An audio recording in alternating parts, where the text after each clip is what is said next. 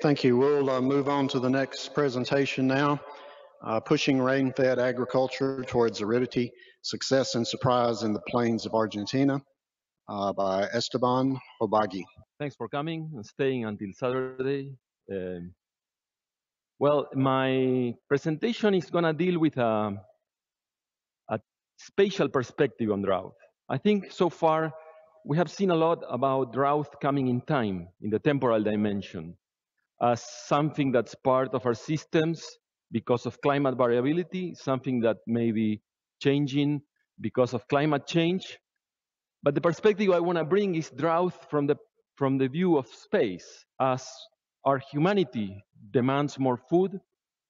In some areas of the world, agricultural systems are expanding. And that expansion is calling in many, many areas for drier land. So the question that I want to um, tackle today is how far can we go towards aridity with our rain-fed agricultural systems? And I have to confess, I'm an ecologist, not even a crop ecologist, but an ecologist that studies very different types of systems. So it's going to be more of a geographical and, or biogeographical perspective on agricultural systems. We are going to be mm, looking at these four points. First of all, how far so far we have been going into aridity with our rain-fed systems, and this is going to be a global analysis. Next, um, to what extent it seems a good choice to push agriculture into, into aridity? And this is a very controversial question. There are many aspects to these questions from the environmental perspective, the conservation of natural ecosystems. I will skip that. And I will focus on simple ecological um, analysis, uh, the production of food, and, and finally the profit of these systems as we go into aridity. And we're going to be looking at that only in my area uh, of interest, which is the Chaco forest in Argentina. Next, for the Chaco forest and the agriculture that expands over there, I want to share with you some of the things I, I consider the most important breakthroughs for its success, success into aridity. And finally, some of the surprises or emergent challenges that we are seeing there. When we compare uh, agricultural systems getting into aridity, it's important to constrain the giant variability of climates of the world. And I think the, the dry subtropics are particularly interesting because they show the, the effect of water more clearly as they have little limitations from the perspective of temperature. So for this analysis, we pick regions that are that share. Let me see if I can point here. Yeah. So first of all, we we constrain uh, climatic limits for the Chaco plains in South America, which are here, and search for similar systems elsewhere. The um, mm, climatic limits that we use were a range of aridity measured as precipitation, the, the, the ratio of precipitation to potential evapotranspiration ranging from 0.2 to 1, rain happening in the warm season, these are monsoonal climates, lowlands, elevation less than 1,200 meters, flat slopes or uh, flat landscapes, and a range of mean annual temperatures that goes from 20 to 25. And there are five large regions in the world that share these conditions. The Chaco, the mesquite forest that's shared by the US and Mexico, the Miombo Mopane area in, in the south of Africa, an area that has for a long time been cultivated, a breadbasket in Asia, which is uh, northern India and Pakistan, and finally north uh, eastern Australia. Of these five regions, there are two that have the bad luck of having really low fertility soils, old geology, and soils that are very poor in terms of fertility, which are uh, the Miombo Mopane area in Africa and, and the Australian region. The other three share relatively good soils, fresh sedimentary soil. So how far has agriculture gone into aridity in these different regions? Well, the mm, graph on the on the left shows how these regions became cultivated with time. We started in 1700. This is based on a, on a very nice database compiled by, by the Sage Institute in Wisconsin. When we look at the India-Pakistan area, by 1950, it saturated cultivation, achieving more than 80% of the area under cultivation. The rest of the regions have been quite stable with very low cultivation, with the exception of the Chaco that is taking off after 1990. Today, this red line shows the proportion of agriculture nowadays, which is closer to 22%. So one region with high population became cultivated early on and is actually compensating for the lack of land with the takeover of irrigation, which I'm not showing here, that starts in the 50s and gets to its maximum today in India, Pakistan. The rest of the regions are not irrigated. This is what we see here along the um, aridity gradient from arid to humid. What proportion of the land is under cultivation, rain-fed, and what proportion is under irrigation? These are the three regions that share fertile soils. So in a way, we have a, a, a large experiment here of regions that have been pushing in different ways agriculture into similar environments. And so far, for more than uh, 300 years, in the case of India, Pakistan, some of this land has been under production successfully. How are these regions performing in terms of yields? And here we go to the, the, the point that Victor was bringing before. We don't not necessarily need to, to consider yield, but yield per year with the different strategies of double cropping that we may find. In this figure, we are comparing the yields of the few crops that are common in our regions, because this is another aspect that's interesting. Each region follow a very different pathway in terms of the choice of crops. But if we look for crops that are shared by all regions, maize and sorghum are the best choice to compare. The white bars and the gray bars there show the average yield and the variability in space for the yields of maize and sorghum. And you can see that Mesquite and Chaco are doing better.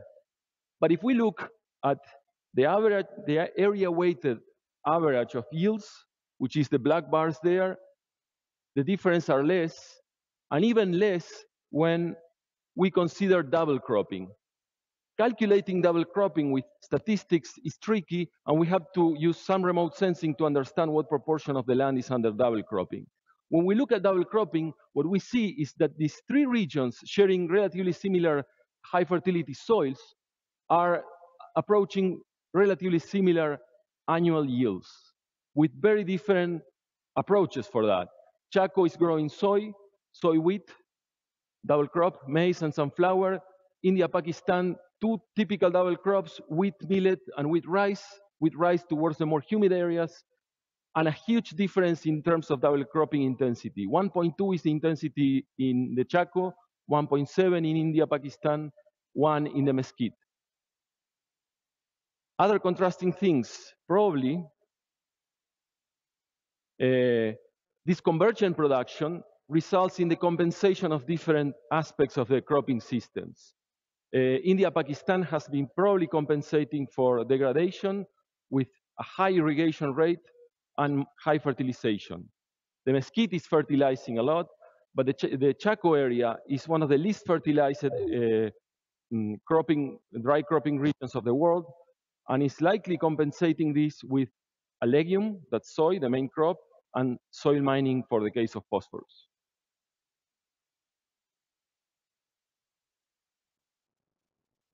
Okay, farming into the aridity into, into drier and drier areas seems a feasible thing. And actually, for a long time, the India-Pakistan region has been doing that. For our Chaco region, is this a good choice to, to farm farther into aridity?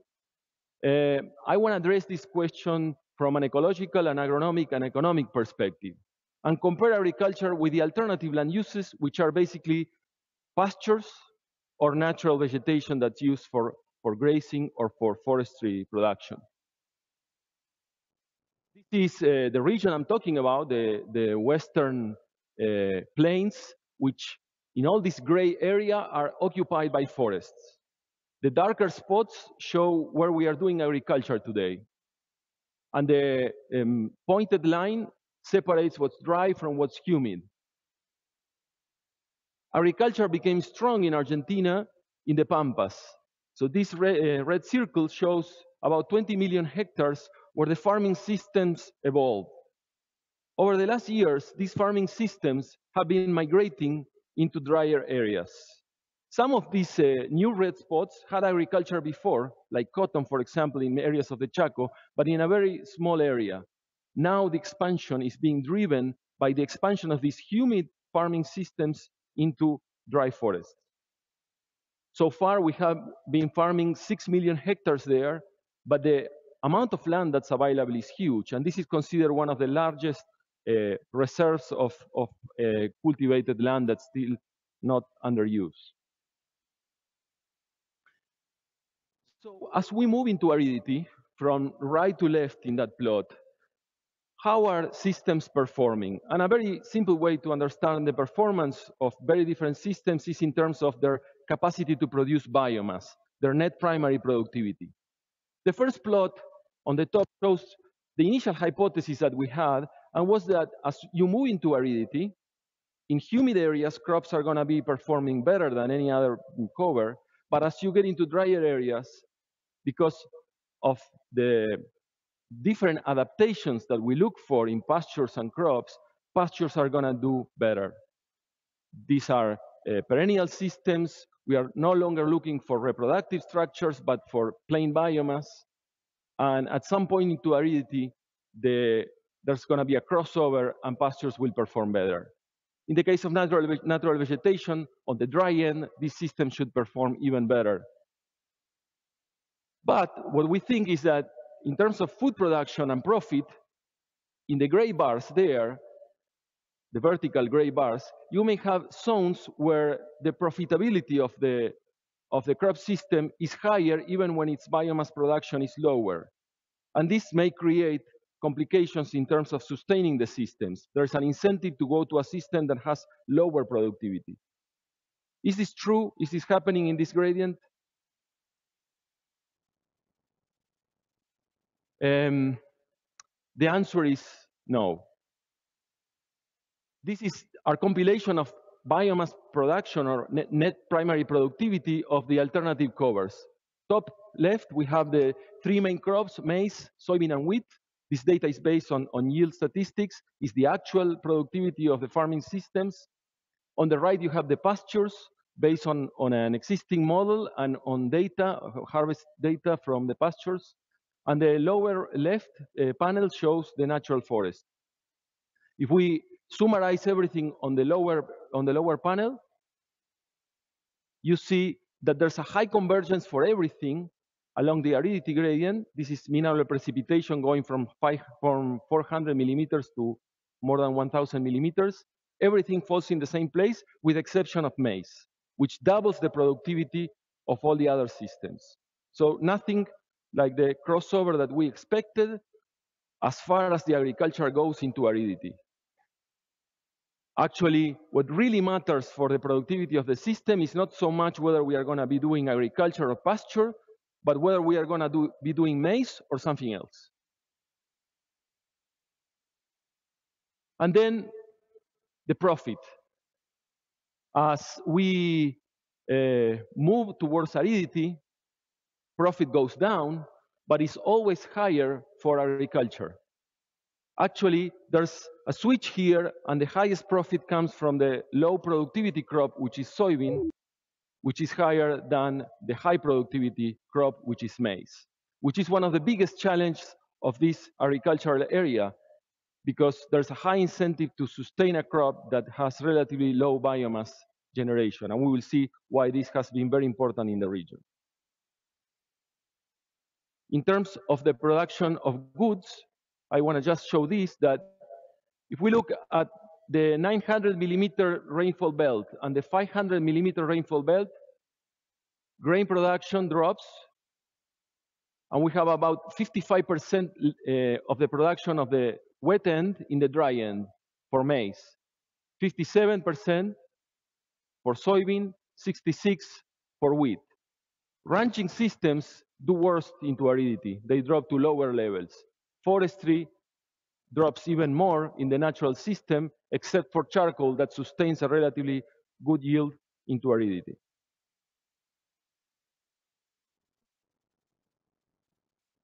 The following point is to speculate what had been the main breakthroughs of agriculture that allow for this good performance all the way to 500 millimeters of rainfall. What's special about agriculture and the agricultural systems of the, the Chaco area that made them successful all the way to these levels of, of rainfall. And I would argue that there are two main things that we need to consider from the agronomic perspective. Number one is evaporation control, the control of direct evaporation. A major flux, the main competitor to transpiration in semi-arid plains. Second, the flexibility of phenologies. Both have been successfully managed by the farmers in this area. Regarding the first one, evaporation control, farming systems in the Chaco did very well thanks to the introduction of no-till in the humid mother farming system in the Pampas. No-till introduction uh, took place in 1990 in, in the plains, in the humid plains of the Pampas, and was adopted at a very fast rate. By 2010, 90% of the farming systems were under no-till. No-till became adopted really fast because it allowed for double cropping with soybean, and it became even easier with the Roundup Ready soybean and later the Roundup Ready maize. This um, adaptation developed in the more humid system was critical for the expansion of the farming systems into drier areas. The other thing that's important is that differently than other systems in, in the other uh, arid areas of the world, farmers here are arriving from a different place and are not including grazing into their management. So there was, there was no competition with grazing and litter cover of the soil. One of the challenges that uh, evaporation control introduced was keeping a balance between soybean and maize or otherwise introducing cover crops in order to sustain a, a dense uh, litter layer in the system. So far, our understanding of the ET partition, evaporation transpiration partition in crops is still uh, poor, but there's an agreement that we are in the order of 100 millimeters of water saving thanks to the litter cover that we can have in the system. And I want to show you the role of litter from, from the other side of the fence, crossing to the natural forest. This is a place of 500 millimeters, the arid edge of agriculture in, in the center of Argentina. Uh, what I'm showing here is the evaporation rates within the forest and within a pasture. These are microlysimeters located within the forest and within the pasture. And those that are in the forest have litter or no litter in our treatments. The litter amount that we have there represents the high end of litter that you can find within a forest and matches what we find in a good no-till system in the area, in the order of 8,000 kilograms of dry mass per hectare. And these are the evaporation rates that you see when the lysimeters are starting in the first day with no limitation of water. Evaporation is only limited by energy here. The main drop in evaporation rates is not by going from the pasture to the forest, but when the forest has litter. The effect of litter overwhelms the effect of canopies, controlling direct evaporation. And this is very important explaining why the control of litter cover has been so critical, changing the water balance and the funneling of water to transpiration. As you move from patches that have very low radiation because are covered by the canopy, and you go into patches that are in the open in, the, in this forest, evaporation goes up for those that have bare soil and remains in these very low levels for all the lysimeters that have litter cover. This may explain the very good performance of agricultural systems compared to uh, the natural systems. When you go through the growing season, having litter means that most of the time the soil is into phase one in terms of evaporation, has high humidity, and, and evaporation is controlled more by energy than by, by water availability. Having water in the soil and controlling evaporation plays an important role for crops in two ways, storing water through the fallow period, but also favoring the crop in its competition with, with direct evaporation through the growing season. The second aspect I mentioned is phenological flexibility.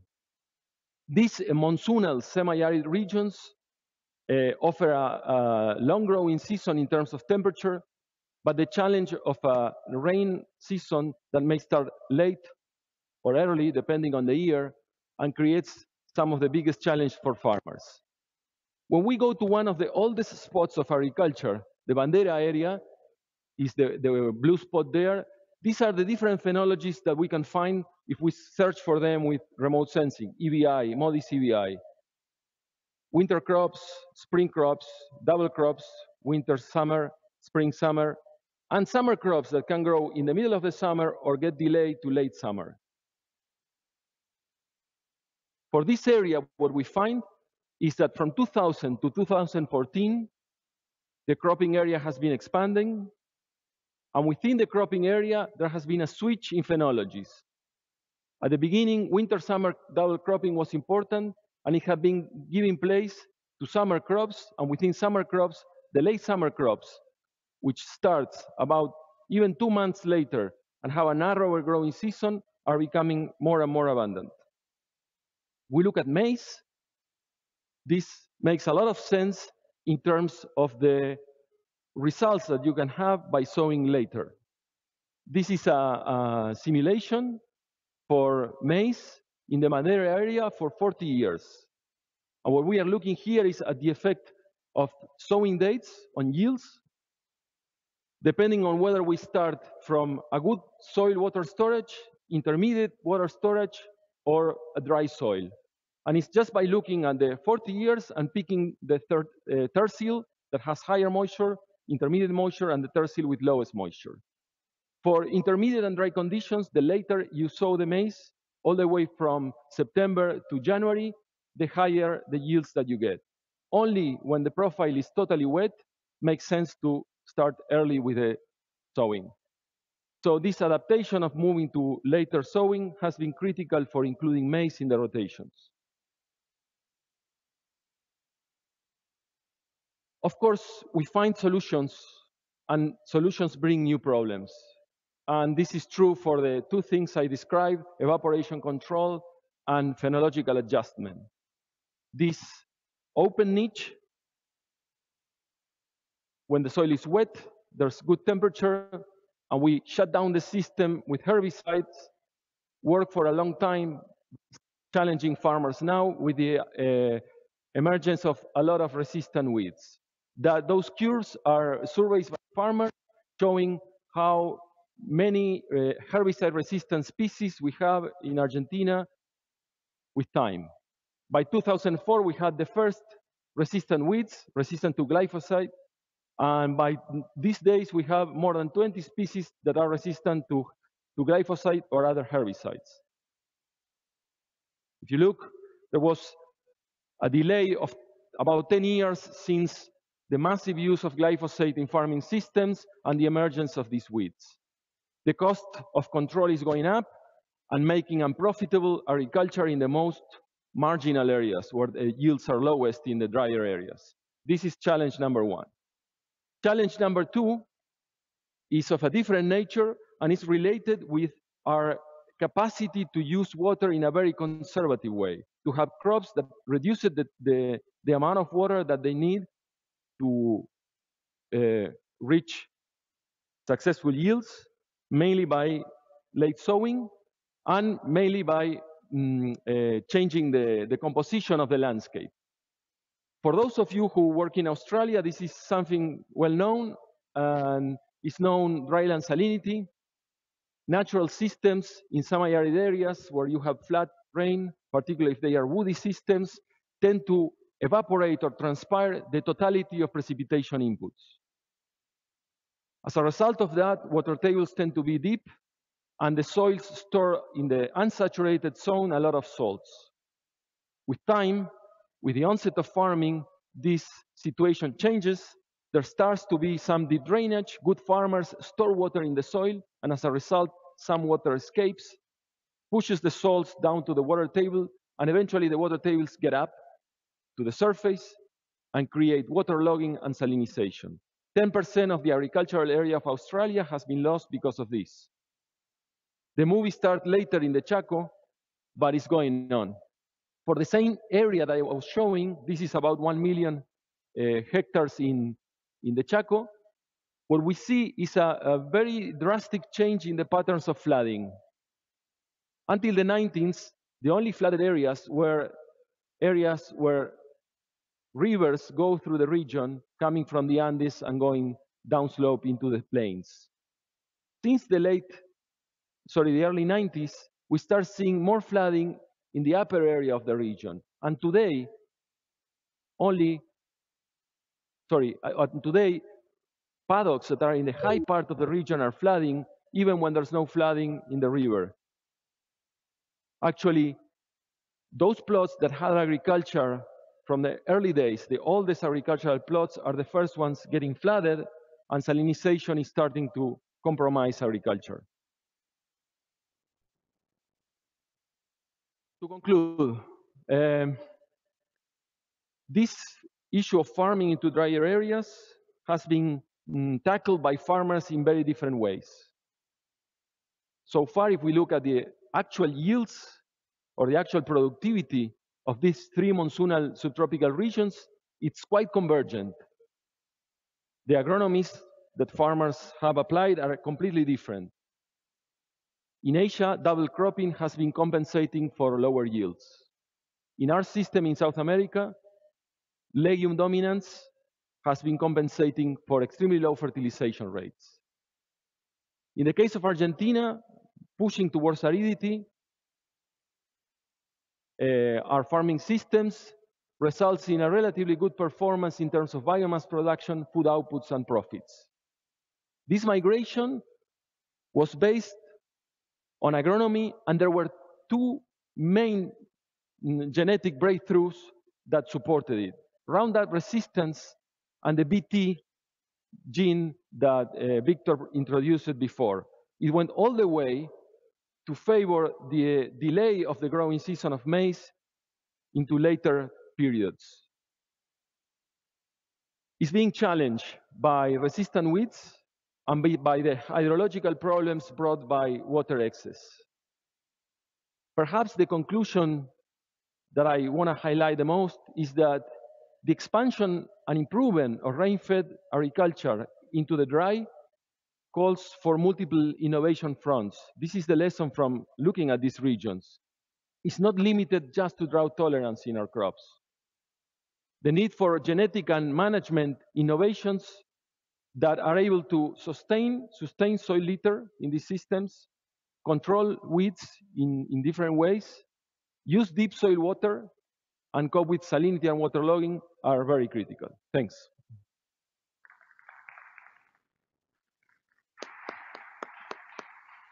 Is there one quick question?